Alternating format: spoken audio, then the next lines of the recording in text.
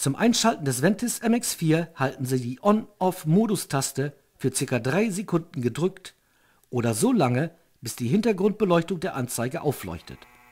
Das Gerät wird mit laufender Pumpe, falls sie angebracht ist, eine kurze Aufwärmphase durchlaufen, in der die akustischen, optischen und vibrierenden Alarme getestet werden.